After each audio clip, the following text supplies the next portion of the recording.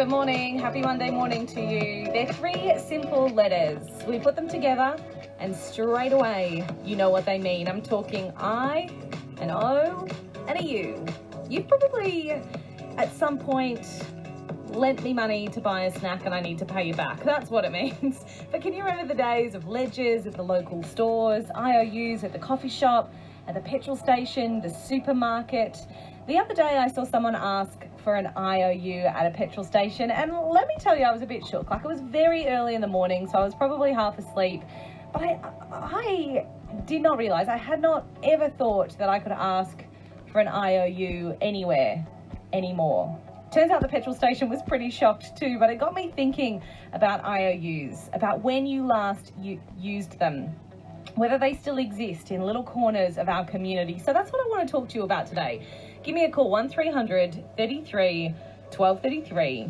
Do you still use IOUs and where, if anywhere, do you use them? You can text me 04871. But see, you'd go in there and you knew Marge behind the counter and she knew that you belonged to that family and it was all a really big trust community system. And I feel like that's changed a little bit. So I'd love to hear if this still happens in your town, if there is still that little circle of trust that we have with sharing money, if that's continued in smaller communities or is it dead, gone, doesn't happen anymore. Let me know. 1300 33 1233 do you still use IOUs and where whereabouts do you use them? We'll delve into our empty wallets next. And it's past 10 o'clock on this Monday morning. Kia Handley with you across ABC Newcastle and New South Wales.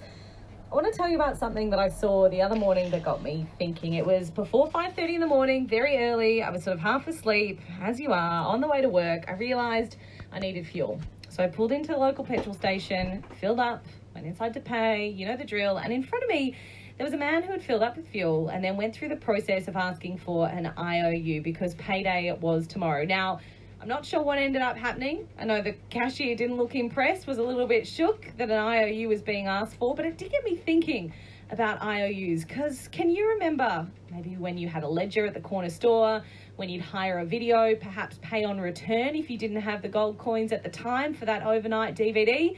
or VHS uh, when your local cafe had an IOU system for those annoying days you forgot your wallet.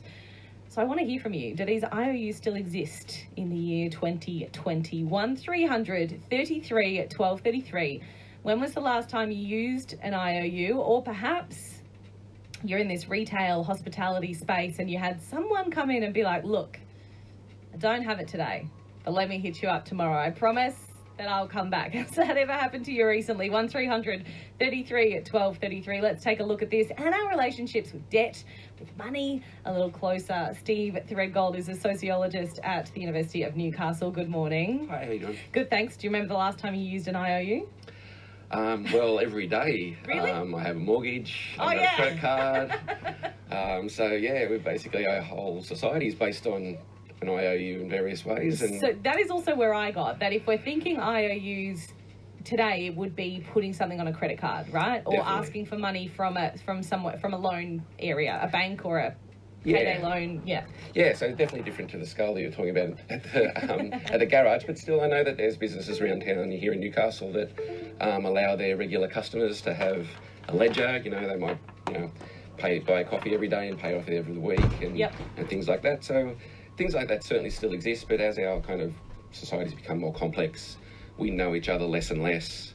Um, those kind of everyday forms of exchange have dwindled in many ways, unfortunately, I would say. Yeah, is IOU very much a, a trust system? That idea of, you know, Marge, who owned the corner store, knowing that you were from that family and Yeah. that she just, you know, jot you down because mum and dad weren't there with you? That's right. And so I think one of the things that sociologists talk about when we talk about debt and the way that societies are kind of less personal, they've been we don't know each other as much, and, and some would argue that we, we lose some of the kind of enchantment of everyday life. We don't uh, know each other as much. We don't, um, I suppose, have a long term relationship with people, and this means we have a kind of more dehumanized relationship with each other. It's kind of a transactional thing all the time, rather than you know having this kind of you know my mum's generation, you know, and previous generations, it goes all through that kind of thing. So, um, sociologists are concerned with that kind of relationships in a way, particularly as the larger forms of debt in other ways become a way to control us, I mm. suppose. you know, once you have a mortgage, you're very much locked into certain things. Yeah, because this way, you know, instead of, you know, back in the day when you were able to go down to the local independent supermarket or whatever and say, oh, I don't, payday's in two days, I promise I'll come back then with my paycheck and Yep. we'll sort it out, you weren't having to go into these large amounts of debts that so many of us are in now. That's right. I think that's that's exactly exactly right. And the other thing that's kind of I heard on on your previous um, session, you were talking about production as a way that we kind of, um, I suppose, um, create value and worth in society. But another way we do that is through consumption and through the display of consumption, through fashion items, through having the right car, through having the house in the right place. And so this, in and of itself, also is a way that um, debt becomes a part of our everyday life. So over the past couple of decades, you know, everyday consumer products in some ways have become cheaper, but you know, real wages haven't increased. There's a demand more and more to have the up-to-date stuff, and so debt becomes a kind of everyday way of dealing with this. Um, and Australia has pretty much one of the highest household debt rates in the world compared to um, average wages. Interesting, because I was thinking, oh, maybe it's the the trust that I don't know you like I used to, and that's why that IOU system has gone. But it's interesting uh, hearing there that maybe it's because what we want is greater, and so an IOU for two dollars, you know, at the the Yeah. milk store is different from me going in and asking for an IOU of a thousand dollars because I want the latest iPhone. That's right. yeah. that's right. So definitely the scale is important, and obviously, you know, the bank's not going to um, give you a house, but uh, but on, a- on a more everyday level, I think um, people do IOUs all the time in their day to day life, right? You know, you go to the pub and you get in the shout. Mm. It's kind of you know there's the implicit trust there. We trust each other. It's kind of enjoyable as well Doesn't always work well. No, that's right. You end up having little kind of it's your shout, whatever. Like me and my mates do that all the time. So it's you know these kind of things still happen, I think, um, and the trust is really the important part of it. People like to get in trusting relationships with each other, Yeah. Um, and that's kind of the way that we relate to each other. It's 18 minutes past 10. You're with Kia Handley on ABC Newcastle and New South Wales mornings. We're talking IOUs. I'm asking you the last time you used an IOU. Give me a call 1300 33 12 33. Mel's in Wallsend. Hi, Mel. Hi, Kia. How you going? You got something really interesting on an IOU. Tell me about it. I did. So last January we were in New Zealand for a ukulele festival, and there was a, a maker there, and I was trying a few different ukuleles, and I was trying the cheaper ones, and then I picked up the expensive one, and I tried it, and I loved it, but I just hadn't brought enough money. Yeah. And so I put it back, and the maker said to me, "Oh, are you going to the Blue Mountains Ukulele Festival?" And I said, "Yeah." He said, "Well, I'll be there. You just take it with you, and you can pay me then." Oh, my And- goodness. This is not just like a $200 ukulele. This was a $1,000 ukulele, the most expensive musical instrument I've ever owned. And he just trusted me to take it away and, and pay him when I saw him a month later. Did you kind of think twice about it, Mel? Were you kind of like, oh, I don't, I don't think I can physically, I can't, and I, and I shouldn't, and Yeah. that doesn't, and Oh. I don't. Yep, that's exactly the conversation that we had. And he said to me, Look, I've been doing business this way for 20 years. I can see you really want it. You will buy it from me. I trust you. Take it. I, wow, dude, that is so awesome. And then the same guy, he actually gave my son a ukulele, my younger son a ukulele, like just because he said he wanted to play one as well. So Oh, there's something really be- amazing. beautiful about that, isn't it? Like the sharing Yeah. that comes with that and that trust, because I feel like sometimes trust is the first thing that goes at the moment, is that we don't have Yeah. that so much. So to have that even across the ditch as well. I um, know, and lovely. it worked out well for him because I was able to pay him in Australian dollars. So then he didn't have to change any New Zealand money and pay all the, the fees. So it was a really a good symbiotic relationship. Love it. And has the Blue Mountains Ukulele Festival been and gone? Uh, yes, that all Couple that of weekends ago? February, Yeah. and the new fe- the, there was one in February, this Ah. February as well. And how's that- we- I saw him. Oh, you did? How's that? Yeah, yeah. How's that beautiful ukulele going, Mel? You still playing it? Oh, absolutely. Yeah, I'm not going to put it down now after how much I spent on it.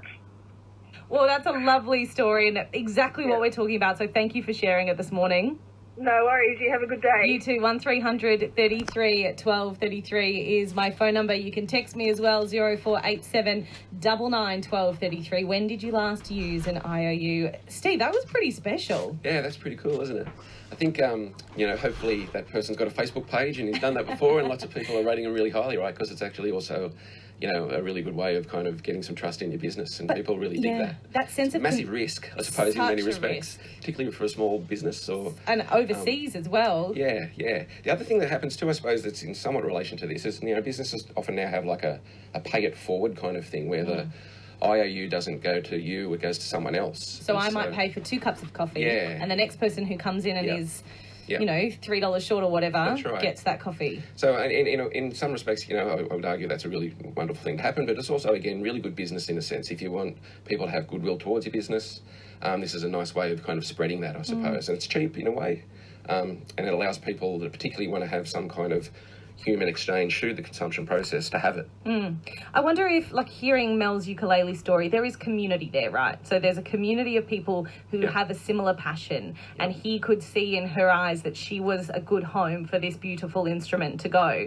So I wonder if maybe when we look at IOUs and money and trust and community, we've gone from having this big community where it's a whole town together to more almost these micro communities, and then we're happier Yeah. in that sort of trust circle rather than that bigger picture. Is that something that, No, that would be fair? I think that's definitely a good way to describe it. And I think within, you know, various scenes and subcultures and communities and stuff like that, those kind of, you know, non-monetary forms of exchange happen all the time. And they're kind of the things that people want. And that's why they get involved in them in many ways. Yeah. Um, but yeah, I know giving away a thousand dollar ukulele and hoping you get it back a month later. Like, I mean, that's kind of a really incredible example of it in many ways. Yeah. These days, with credit cards, with banking, with Afterpay, with all these ways to have IOUs that's in a, as you said, a bigger corporate uh, situation, do you think our relationship with money is, is changing? Oh, definitely. So you know, um, the you know the critical theory about this is the less that we think about the money that we spend, you know, the more we're likely to spend. Um, and so the the move towards more ephemeral ways of spending money, money, you know, just you know, tapping and stuff like that, you know, um, means that we kind of are less likely to keep track, I suppose, of what's going on. Um, We almost don't see the money go. well, you don't. It's not really a material thing anymore. Even I've, I've actually tried to kind of keep money in my wallet and keep doing as much as I can as some kind of discipline. But like, How even does now, that go for you? well, not great. You know, like now when you go to the pub and you want to buy a beer, people are lining up, and it's actually slower not to tap, right? And you feel Yep. like you're actually holding people up. Yeah. And so you know, there's a kind of implicit pressure there to kind of not do that. So. Um, yeah, again, the, the idea again here too is that you know critical theorists in particular are worried about the way that debt you know keeps us trapped in a certain way of life. Um, you know, having to you know what's the kind of the work work to impress people that you don't really like to buy stuff that you don't really need. um, so there's that aspect of it. But the other thing too is the kind of the unsustainability of it. Um, the more and more stuff we buy, you know, the more and more problems there are with the um, environment and waste and, and that kind of thing. Yeah, it's interesting as well. Do you think that we're going back a little bit? Like I know that we've talked for many years about a cashless society, and then a local supermarkets uh, didn't w- wasn't able to have cash because their safe broke, and all of a sudden people went nuts. Yep. They got more complaints for not being able to do cash sales than for not being able to do EFTPOS sales when the EFTPOS is down. So that to me says that we still have a pretty strong relationship with cash. Yeah, I think so. Yeah, that's right. And I think not everyone actually, you know, has a credit card, and not everyone has, you know, there's inequalities involved in that as well. Lucky them. Um, so that's right. Yeah, so systems tend, tend to be entrenched, and people don't like those kind of changes. Um, and but you know, regardless of what the changes are, people are likely to complain about them. yeah. Um, but the, the broader picture here, I suppose, is that yeah, definitely like debt. You know, even you think about you know our education systems. You know, our students come to universities and walk out with you know tens of thousands of dollars worth of debt. Um, we know that um, some of our uh, people, poorer potential students are actually making the um, decision not to come to university because of those kind of things. Um, so you know, debt here is a is a real form of inequality, and it's also a way of kind of keeping people in, you know, in a, con- a kind of consumer cycle, I suppose. Yeah, yeah, and it seems to be those that are in a bad financial situation tend to have more debt. That's right, definitely, yes. Yeah, yeah. And so there's a real social pressures to keep up, and, and this kind of creates a bit of a self fulfilling prophecy around that. Maybe it'd be nice for the IOU to return. It was it just felt a little bit simpler than what we have now. Yeah, I'd love to know what happened in that uh, situation. Yeah. Me too. I need to go back. Um, my tank is nearly empty, so I'm sure I can find out in a couple of days' time. Steve, thanks so much for coming in and having a chat. Really appreciate it. No problem, thanks. Dr. Steve Threadgold there, Senior Lecturer in Sociology and Anthropology at the University of Newcastle. If you have an IOU story, I want to hear it. 1300 33 12 33.